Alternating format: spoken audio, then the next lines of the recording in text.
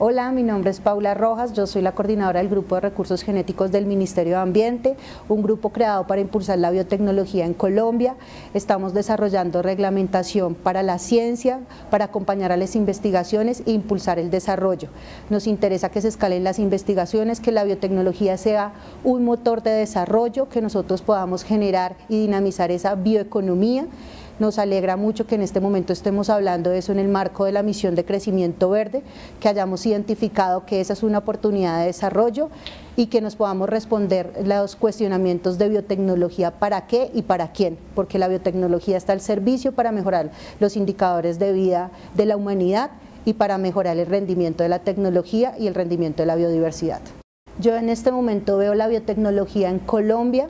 como una herramienta que ha desarrollado grandes potenciales en materia de investigación, pero que aún nos toca impulsar para que seamos capaces de escalarla y poder dar un resultado de rendimiento económico. Pero la biotecnología es una oportunidad y nosotros ya no somos un país que exporta materia prima o recursos para que se, desarrolle la tecnología en otro lado. Somos capaces de desarrollar tecnología, tenemos universidades y científicos con toda la capacidad de desarrollar toda la cadena de valor de un bioproducto, en cualquiera de los sectores.